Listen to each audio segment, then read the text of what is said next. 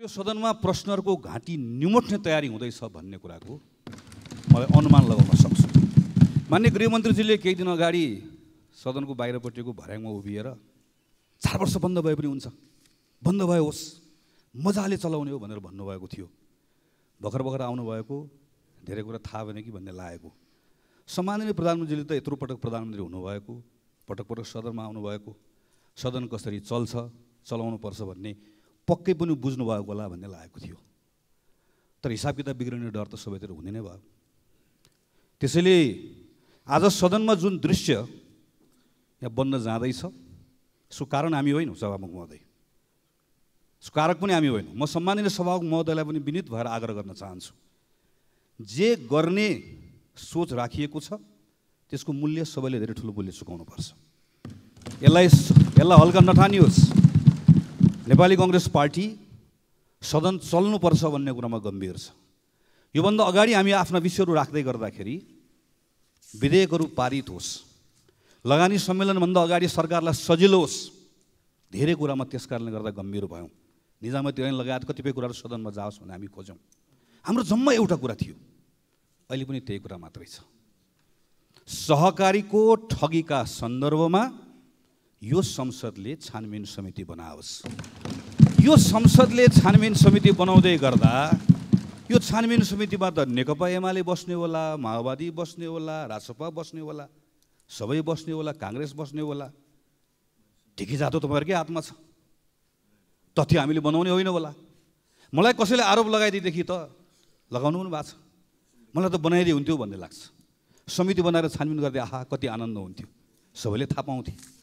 किन डराएको? किन भागेको? कहिले प्रहरीलाई बोल्न लगाएको छ? कहिले प्रधानमन्त्रीलाई बोल्न लगाएको छ? हुँदा हुँदा कानुनले भन्छ महान्यायाधिवक्ताले कुनै प्रभावमा पर्नु हुँदैन। त प्रभाव होइन। झुकाव राख्नु हुँदैन भन्छ। झुकाव होइन। महान्यायाधिवक्ता त झुक्दा झुक्दा लम्प साह्रै परिसक्नु भयो किन डराएको? किन आत्तिएको? के ल्याउने हो र? के बनाउने हो र?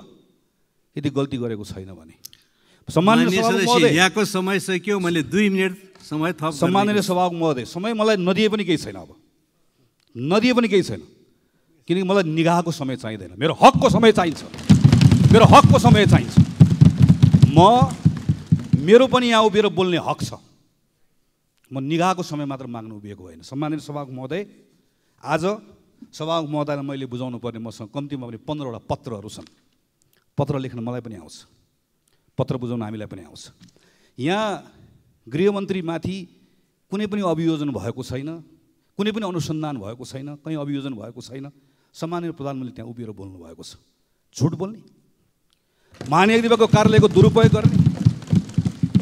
त्यही प्रहरी कार्यालय रूपन्देहीले गरेको अनुसन्धान त्यहाँ भएको त्यहाँको रूपन्देहीको अदालतमा भएका प्रमाणहरू पेस गरौँ। अहिले मैले कुनै पनि सहकारीबाट ऋण लिएको छैन भनेको ठाउँमा सहकारीमा आफै लिखित गरेर माग फारम भरेर लिएको पेस गरौँ। एक अरब रुपियाँ पैसाको अपचलन गरेका प्रमाणहरू पेस गरौँ। कतिवटा प्रमाणहरू पेस गरौँ? मैले पेस गर्ने यी प्रमाणहरू गलत हुन् भनेर साबित गर्ने कुरा आहा। संसदीय समितिबाट कति मजा आउँथ्यो होला। गलत साबित गरिदिनुहोस् न मलाई। गलत साबित गरिदिनुहोस् न नेपाली कङ्ग्रेसलाई। यही भनिरहेको होइन। त्यसैले सम्माननीय सभाको महोदय म यति मात्र भनेर टुङ्ग्याउन चाहन्छु।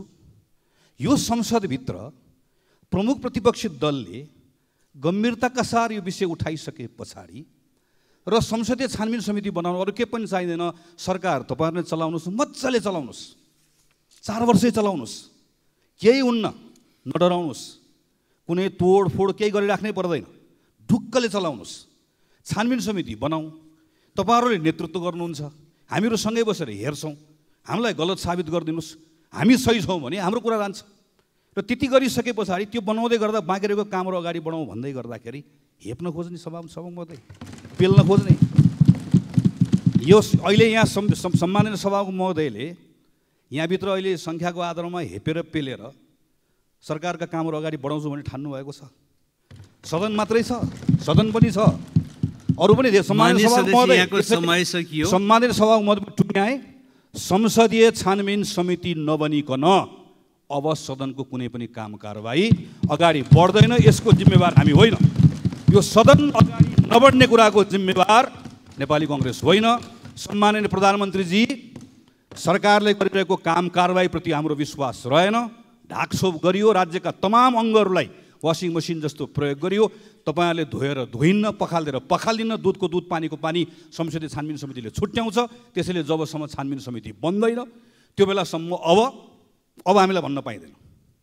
बजेट जाओस् नीति कार्यक्रम जाओस् सबै कुरा जाओस् भनेर यति धेरै प्रत्येकचोटिको भेटमा सर्वदलीय बैठकमा सबैतिर सबै कुरा राखेर बनाऊ छानबिन समिति बनाऊ तपाईँहरूले लिड गर्ने हो त्यहाँ कुनै राजीनामा दिनु पर्दैन। यसरी जाउँ भन्दा भन्दा भन्दा भन्दा पनि यो कुरालाई स्वीकार नगर्ने कुराले सरकार आफै न्यु खोज्न आएको सरकार आफै वातावरण बिगार्न आएको सरकारकै कारणले गर्दा यो अप्ठ्यारो सृजना भएको अब संसदको कुनै पनि काम कारवाही अगाडि बढ्ने कुरामा नेपाली कङ्ग्रेसको साथ रहँदैन जबसम्म संसदीय छानबिन समिति बन्दैन। धन्यवाद।